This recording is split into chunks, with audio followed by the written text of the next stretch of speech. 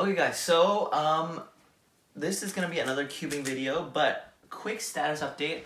At the time of this recording, the power at our house has literally just gone out. So I cannot even turn on this light. The monitor doesn't work, the lamp doesn't work, the TV doesn't work. So we'll be doing a review on this cube right here, which is a $9 budget cube by Moyu, the RS3M 2020 edition. A lot of people are hyping this cube so much. Um, some people are even deciding to prefer this cube over this cube, which is a $60 Gan 356XS. So we'll be taking a look at the differences and whether I'll be switching or not. So I actually did record my unboxing, and you guys will see my unboxing um, in a couple seconds. Okay guys, so another short unboxing from Speedcube Shop. This is the RS3M 2020 edition and some people say it's better than the GAN XS. So let's go ahead and check this guy out. I'm quite excited to see if this the uh, people are actually correct on this because um yeah, a lot of people are switching from the GAN XS to this as their main. So let's check it out. Thank you to Speedcube Shop for sending me this order, and here we go. The first thing we get are 3x3 stickers, because I'm going to be replacing the logo on this, so let's go ahead and keep that on the side. And here it is, the RS3M 2020 edition. So they did actually change the packaging. The packaging used to be a sort of GAN box where you have like this lid thing and you just like slide it off like a GAN box. You can sort of imagine what I mean. But they changed it so you actually open it from the side now after they restocked. So anyway, here's the RS3M 2020 edition from Moyu. Um, I don't think there's any advances in the technology or cubing hardware, but it is the successor of the MF3 RS3M and the MF3 RS2M, I think, was the really popular one. But the MF3 RS3M, the first one, wasn't as great as people wanted it to be. So they made another version, and apparently this one's obviously incredible. So let's, without further ado, check out what's inside of the box.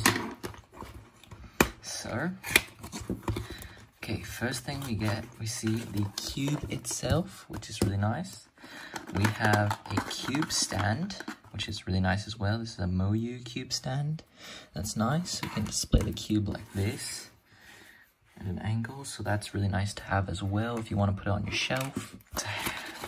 Here's the accessories box. Let's check out what's inside.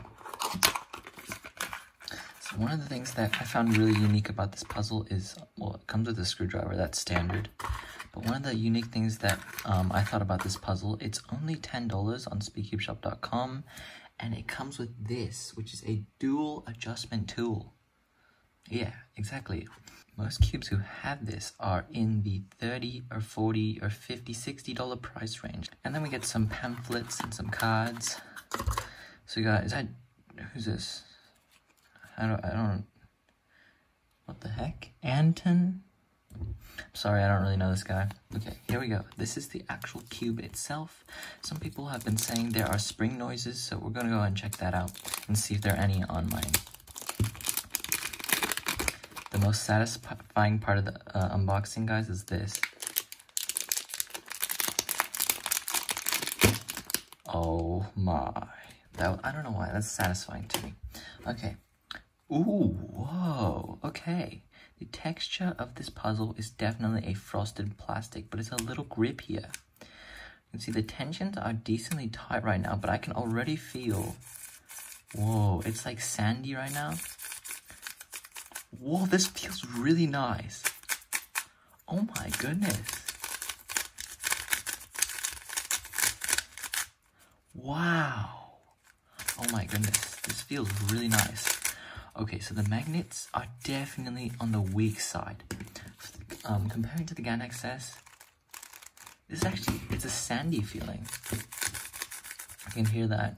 And this is, that's the GAN XS no adjustable magnet system, of course. You wouldn't expect anything from a $10 puzzle, and the $10 puzzle still has the dual adjustment. So let's actually take a look at that really, really quick. The center cap comes off, and then you get this system right here. So you basically just insert your tool like that. It just kind of sits right on top, and then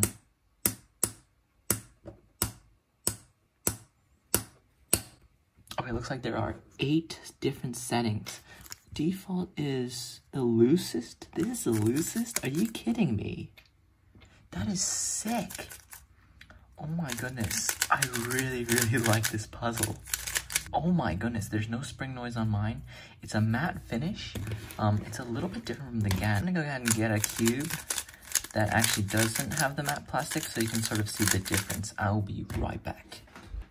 Alright guys, here is the MGC Elite puzzle and if you can sort of see, yeah, it's a little, it's a shiny sort of a uh, finish there. But yeah, as you can sort of see, this is a matte finish. And then this one as well.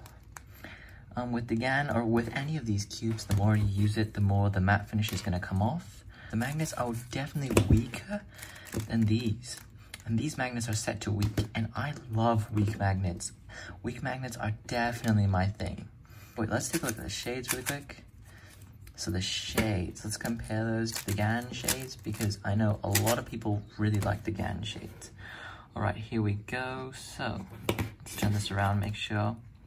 So I don't know if you can sort of see. They're similar, honestly, very, very similar. Look at this. Obviously the GAN has the black internals, which a lot of people love, but the color scheme itself is quite similar. The yellows are a little bit different. It's a little bit more vibrant. So Wow. I mean, oh, maybe it's just in this light because there's a lamp right over here. But yeah, you know, it is a little different shade of yellow right there. So that's interesting. Um, wow. So far, this this cube, oh wait, by the way, it does feel a lot heavier. Um, ooh, about the same weight, maybe a tiny bit heavier, the, the RS3. And I have to say, the corner cutting is not as good as the GAN. I don't know if I can clearly demonstrate that. That's line to line. Very, very effortless. Past line to line, pretty effortless. This, let's try 45. I haven't actually tested corner cutting. Ooh, lots of force to corner cut. So that is an issue. Um, this is the loosest setting as well. So the corner cutting is not going to get better than this. But honestly, this puzzle feels extremely, extremely good. Also guys, my OCD is killing me. That sticker placement is gonna bother me for the rest of my days. Let's see if we can actually take out a piece. Oh my goodness, this is tight. Oh, do you see that? So look, it's easily openable, the edges. So you can definitely add some more magnets and make them stronger. This cube is really, really good. I would expect this cube to be like a $30 cube, so the fact that you're getting this for $10 on speedcubeshop.com is just epic. So, I do understand why some people are moving to this. This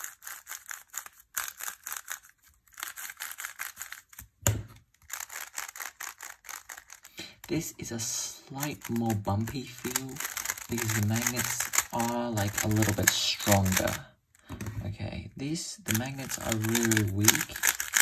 It's a little bit more clacky if you're turning fast, but you can go freaking fast, man. Um, I did loosen it quite a bit, so you can see it stretches a lot more now. I loosened the screw in the middle, like half a turn, and then I kept this light blue thingy on these on the weakest setting. It's borderline uncontrollable, but when you can control it, if I can learn to control this thing, this has the potential to be a super, super fast cube. Also, spring noises started coming in right after I ended my recording previously, so um, let me know, guys, if do you want me to make a video on how to fix spring noises in your cubes, I will go ahead and make one. Um, you're gonna need a special type of lube that's like a more gooey lube. It's, um, it's I don't know if it's core lubricant, it's like piece lubricant, but not like Martian or Luna, because that's way too liquidy. You want a more gooey type of lube, like Speed, uh, Speed Lube Weight 1 or something like that. Um, and you're gonna need to take off the center caps and stuff, but I will go into that in a different video if you guys want it. So this cube is way faster than the GAN, but the GAN is controllable. It's a little bit more quiet. Oh my goodness, I can barely control either. the GAN I control a bit better. The GAN does have these black internals, which makes it kind of look endless in there, which looks really cool. This one, not as cool, but it's not really the look. Okay, so that was the unboxing. Um, the RS3M, um, as I mentioned, he used to have a sort of lid opening box and then they cut down production costs so they can make more money. Um, I didn't mention the story. Actually, this is story time with Boss Bassoon about the RS3M. So the RS3M is from a company called Moyu, and then their sub-brand called the uh, Mofang Jiaosi, which most people say Mofang Jiaoshi, it's like really Americanized way to pronounce Chinese. Um, but yeah, the, I'll just say Mofang Jiaoshi because that's probably what most of you guys know. But Mofang Jiaoshi, um, what they did, they released the budget cubes mostly, I think. I think just budget cubes. And one 3x3 cube that what they were really known for was the MF3 RS2. Um, everyone loved that cube. It was around the same $10 price range. And um, when Moyu announced that they were going to make an MF3 RS3, which is the successor to that MF3 RS2, um, that everyone really enjoyed, everyone was super excited. But when the MF3 RS3 uh, version 1 was released, it was sort of a letdown. Um, people were saying, yeah, it's good, but it's not and the improvement we were looking for uh, based on this super great MF3 RS2. That was like a year ago about. Now it is 2020 and Moyu's like, okay, that was a letdown, so we're gonna create the RS3M 2020 edition. So it's basically a successor to the MF3 RS3, but they just took out the MF3 at the beginning and they just called it the RS3M 2020 edition. And this is this cube right here. It comes in at $9 compared to this $15 cube. So they already cut down $6 of pricing there. Um, they made they gave it the matte plastic, which really high-end cubes have. They gave it a dual adjustment system, um, which no cube at this price range has. And Moyu was like, okay, let's bring it on, let's release this to the public, and let's see what they think. So obviously the public again was like, okay, you know, um, let's experiment with this cube. Um, let's see how it is. And wow, everyone in the whole world was shocked. Because if you try this cube and you try this one, you can already tell that this is ridiculous for only $9. But anyway, Moyu was like, okay, we made it way too cheap. Because obviously they had a chance to really make a lot more money with this cube because this is like sold out everywhere. And that is the reason why they changed the box so they can save some production costs, make more money off of this because this is like one of the best cubes on the market right now. So anyway, that is story time. And now for my thoughts on these two cubes. Okay, let's start off with the GAN 356XS. I've had this cube for, I don't know how long, a couple weeks maybe. Um, my adjustment systems, I have the magnets on light, so they'll both be on light magnets. Um, I have the center thing that switched to dark blue on number two and a clear thing on number five. There'll be a picture to show you what I mean.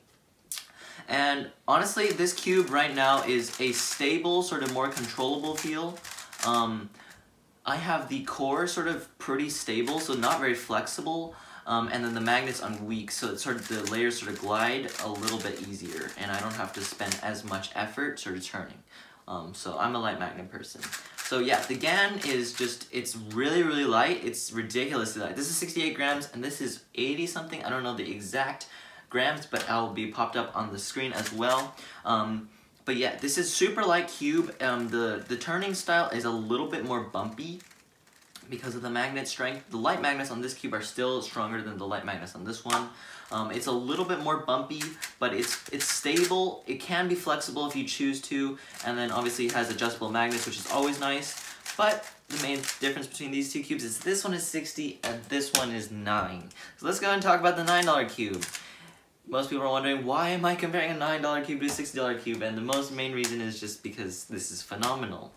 Um, as I was talking about earlier, the outside plastic is the same sort of feel. Um, the layers actually are smoother. So just turning a single layer um, feels smoother than the GAN Cube. So it has a little bit of a different sound feel to it.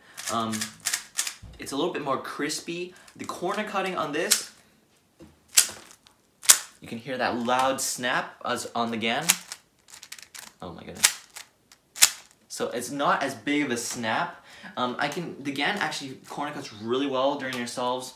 The RS3M is, um, it's a little bit more snappy, which is a sort of a fresh breath of air. But honestly, its turning is just so smooth for being $9. Um, but that's the main things I have to say about these two cubes. Um, they feel different in general. Um, uh, this one is more bulky and heavy, and some people like that because it feels makes it have a more controllable feel to it. Um, but the GAN is just airy, a little bit bumpy. Um, this is like crispy, a little bit more weight to it, so that's the sort of determining factor I would say. Also, if you're not a light magnet person, you have to add in magnets yourself. But yeah, um, this video is getting way too long actually. None of my cubing videos are this long, but um, I guess from now on, I'm not going to be manning the RS3M because there are things I still like about the GAN XS. I feel like the corner cutting and the layers just flow together super duper well. The cube is light, so um, when I cube for long periods of time, I get tired less easily. But for $9, there's no reason why you shouldn't pick up this cube um, and try it out for yourself because some people are preferring this over that. Um, so it's honestly up to you guys. On Speedcube Shop, um, I think their magnet kit is sold out, but on the Cubicle, which I haven't actually purchased from, but I've heard on thecubicle.com there is a RS3M Plus, which they add in stronger magnets for you. So you can definitely pick that up. I'll leave links for Speedcube Shop if you want to support Speedcube Shop, or um, the Cubicle as well, because I feel like you know, all the shops are just awesome. But yeah, anyway guys, that wraps up this really long video. There's so much to say about this new and really exciting cube. It has just um, a dual adjustment system you only see on higher end cubes, and then the feel of the plastic is just phenomenal. And honestly, one last thing, my mom I gave her both of these cubes and she told me that she thought the RS3M was the more expensive $60 puzzle and she thought the GAN XS was the less expensive $9 puzzle. So, honestly, I think anyone who gets this cube is not to hate it. It's definitely something I would recommend you picking up, so I'll definitely leave links to the Cubicle as well as Speedcube Shop down in the description below. So anyway guys, hope you enjoy. I'm to do some more solves on these. I'm to read a little bit. I don't know what to do because the power is out. But yeah, thank you so much guys for watching, and yeah, see you next time on Boss Bassoon.